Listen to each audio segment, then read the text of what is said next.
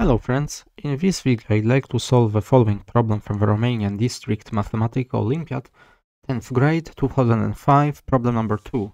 We wish to find all functions f from the set of uh, pairs of integers into the, into the set of real numbers, satisfying f of yz, f of zx, f of xy equals 1, and f of x plus 1, x equals 2 for all integers x, y, and z. So our function takes pairs of arguments and returns single real values. Uh, so here are my hints for this problem. First, set x, y, and z to be the same to find f of xx. Then, set y to be z and express f of yx in terms of f of xy.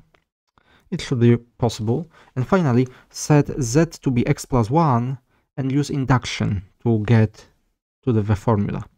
Actually, you may wish to use induction twice in the process. We'll give this problem a try and I will see you in just a minute. Right, so let's start as I suggested. Let's call our equation asterisk as I like to do and let's set x, y and z to be the same. In our condition, asterisk. Then we have the following. On the left hand side we have f of x. x 3 times, so it's cubed, equals 1. And since our function takes real values, the only possibility is that f of xx is 1. It would be a different story in the set of complex numbers, but no matter.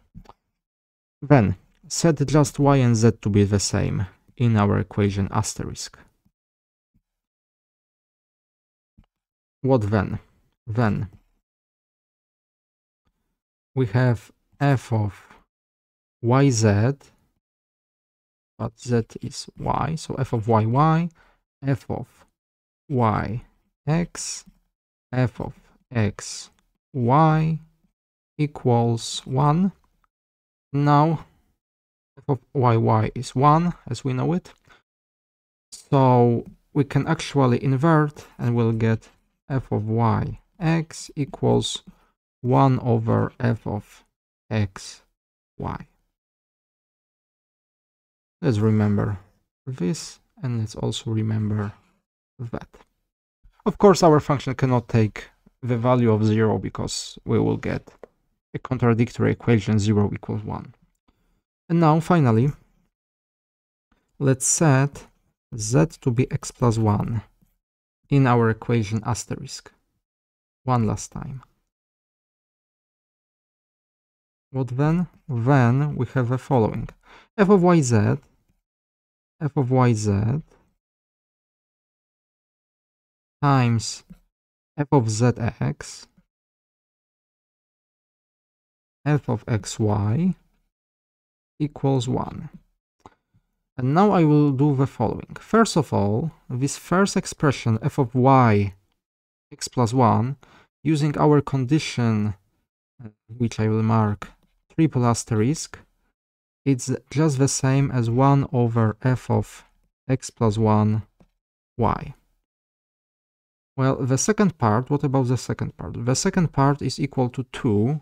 How do I know it? Because of my second assumption by double asterisk f of x plus 1x is 2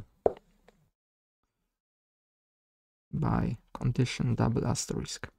So it's times, let's put it lower, so it's times 2 times f of xy equals 1.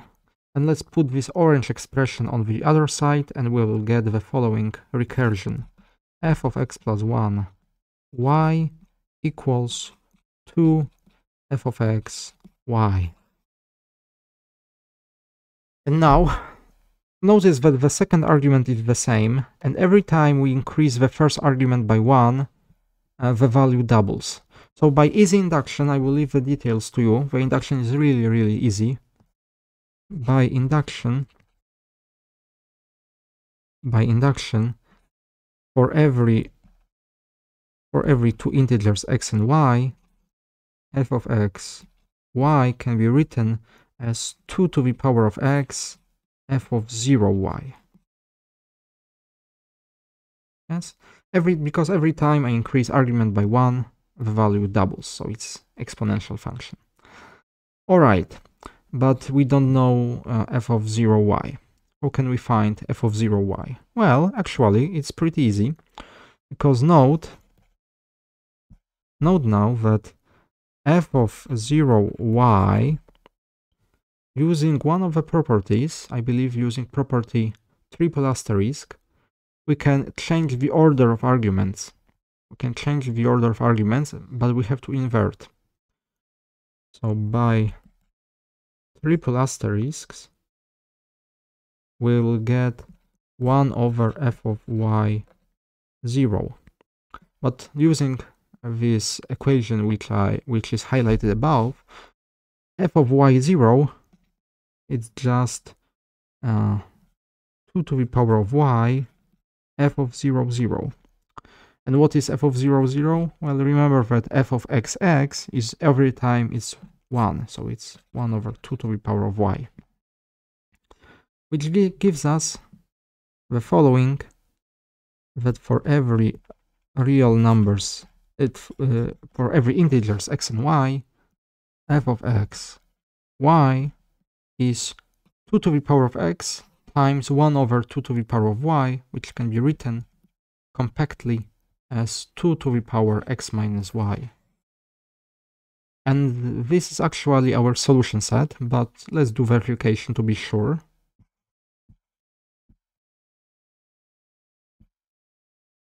Let's do verification. So we have two equations to verify. First equation, f of y z f of z x f of x y. Well it's 2 to the power y minus z 2 to the power z minus x 2 to the power x minus y. So it's obviously 1 it's verified. And let's verify the second equation. F of x plus 1x it's 2 to the power x plus 1 minus x is 2 to the first power, it's 2. So both equations are verified and we have our solution set. We have exactly one function satisfies our equation and that function is f of xy equals 2 to the power x minus 1 y. And that closes our problem. So yes, a very nice problem. Thank you very much for watching. I hope that you've learned something new this time and I will see you next time. Goodbye.